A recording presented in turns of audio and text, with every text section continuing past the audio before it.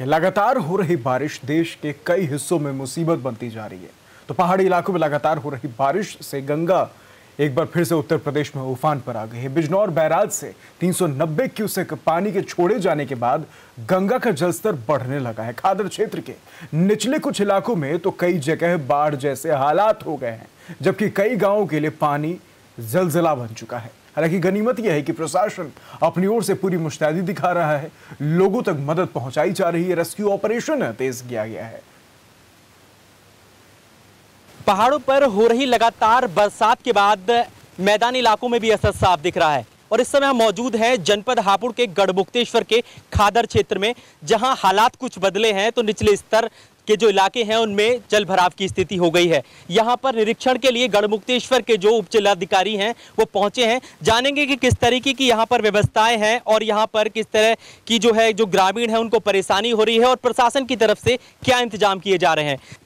अभी जो है, पीछे से लगभग जो है ऊपरी इलाकों से तीन लाख नब्बे हज़ार क्यूसेक के आसपास पानी छोड़ा गया था।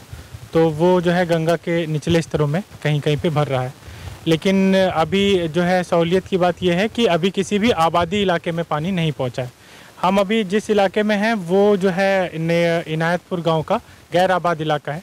लेकिन जिलाधिकारी महोदय भी जो है बीच बीच में आकर यहाँ पर निरीक्षण करती रही हैं और उनके सख्त निर्देश हैं कि किसी भी ग्रामवासी को कोई समस्या ना हो। सब सबसे बड़ी बात ये हो जाती है कि सर जिस तरीके से मुख्य मार्ग है यहाँ पर पानी भर गया तो निकासी जो लोग हैं वो अपने घरों से जब बाहर निकलते हैं बहुत सारी ज़रूरत की चीज़ों के लिए तो उनको आवाजाही में दिक्कत हो रही है। इस पर किस तरह का काम किया जा रहा है सर? आ, ये जो भी अगर कोई मुख्य मार्ग है जैसे जिस मार्ग पर हम लोग इस समय हैं ये मुख्य मार्ग तो नहीं है लेकिन इस मार्ग पर जो है गाँव वासियों ने अपने जो है चारे बो रखे हैं। उसके लिए प्रशासन ने यहाँ पे ये नाव की व्यवस्था कर रखी है। कि जिसको भी चारा काटने हुए जा, जाना होता है तो वो इसी मार्ग के थ्रू इस जो है नाव से जाकर चारा अभी अभी जल स्तर जो है उसकी क्या स्थिति है? और जो लोग हैं यहाँ पर क्योंकि जिस तरीके से यहाँ पर जल भराव हुआ है तो बहुत सारी बीमारियाँ भी उसमें उत्पन्न हो जाती हैं। तो स्वास्थ्य विभाग की तरफ़ से और बहुत सारी चीज़ें जो हैं उन पर कैसा काम किया जा रहा है सर? स्वास्थ्य से संबंध में जैसे हमारा जो गंगानगर जो गाँव है उसमें कल कुछ लोगों के बीमार होने की जो आई थी खबर तो उसके लिए तुरंत ही यहाँ से जो है मेडिकल टीम भेजी गई थी। वो लोग जो है नाव से गए थे वहाँ पे सभी को दवाइयाँ भी देख के आए। जिन लोगों को आई फ्लू से संबंधित कोई प्रॉब्लम थी तो उनको आई ड्रॉप्स और मेडिसिन भी देकर आए। वहाँ पे उसका वितरण किया गया है। अभी अभी किस तरह के हालात अब तो ठीक है अब पानी धीरे धीरे कम भी हो रहा है और जो है अपहिल से भी पानी काफ़ी कम हो गया। जो तीन लाख नब्बे हज़ार पानी छोड़ा जा रहा था वहाँ से, वो इस समय एक लाख पैंतीस हज़ार के आसपास हो गया।